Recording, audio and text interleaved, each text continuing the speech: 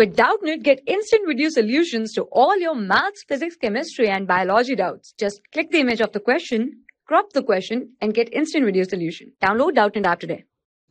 Hello everyone, the question is find the HCF of the following numbers using prime factorization method 150, 140, 210.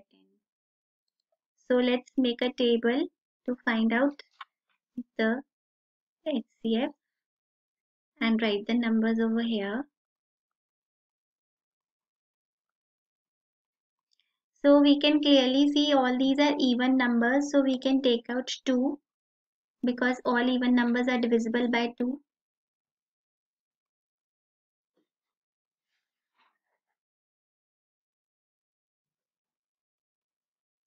So now we can see that the numbers 75, 70 and 105 are all multiples of 5 because they have 0 or 5 at their ones place. So I'm going to take out 5 now.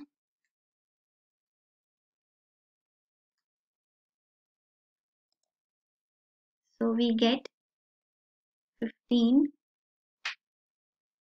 14 and 21.